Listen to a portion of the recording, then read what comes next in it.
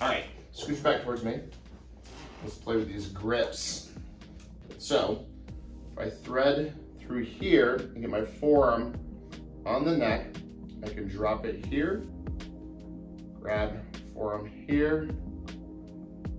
This can allow me to push, pull, kind of give some traction. As I come back down, I can flip my hand up if I need to re-grip. Pull back down, go up, side. Going way faster than I normally would. The other side, scoop the head. Again, I need to re-grip, I can kind of pull my arm here, tilt it back up here. This is the other one. Just kind of straight up gable grip.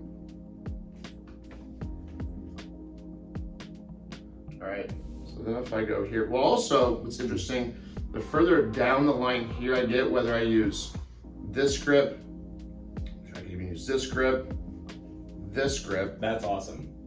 Is then the other factors are spinning the arm here yep. to here. Or not getting specific with your work, like if you're not doing like, you know, contacting between like the joint space of like C2 to C3 or whatever, and you're just being more generic with it. I've started the top hand in pronation and supination. Well, I guess it depends what chain you're talking about.